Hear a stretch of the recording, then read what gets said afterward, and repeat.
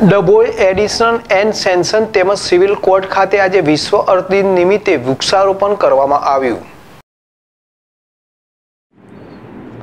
વૃક્ષથી મનુષ્ય જીવનને ઓક્સિજન મળતું હોય છે. ગ્લોબલ વોર્મિંગને કારણે પૃથ્વીને નુકસાન થઈ રહ્યું તેવામાં જેટલા વૃક્ષ વધુ રોપીએ, તેટલું મનુષ્ય જીવન માટે વધુ સારું છે.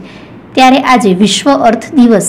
આ દિવસની ઉજવણીના ભાગરૂપે આજે ડભોઈ કોર્ટ પરિસર ખાતે એડિશનલ એન્ડ ડિસ્ટ્રિક્ટ જજ એચજી વાઘેલા અને સિવિલ જજ એન કે ચોકસી તેમજ સિવિલ જજ કે એચ ખન્નાની ઉપસ્થિતિમાં કોર્ટ પરિસરમાં ડભોઈ વકીલ બાર એસોસિએશન દ્વારા વૃક્ષ રોપવાનો કાર્યક્રમ રાખવામાં આવ્યો.